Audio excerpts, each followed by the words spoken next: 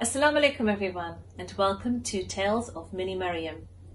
Today's story, Bismillah. It was dinner time at Mini Maryam's house.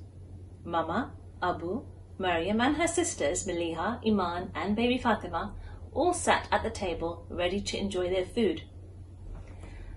As they were all about to tuck into their food, Maryam cried out excitedly, Who said Bismillah? Oh, not me, whispered big sister Maliha, slowly laying her fork back down onto the table. Not me, said middle sister Iman, already with a mouthful of food. Baby Fatima just giggled. Oh dear, not me, sighed Mama, and a red-faced Abu said nothing at all. Everyone looked around at each other and together they all sang out, Bismillah. Thank you for reminding us all, Maryam, smiled Mama. Before eating, don't forget to say Bismillah in the name of Allah. Mentioning the name of Allah when beginning to eat is a sunnah.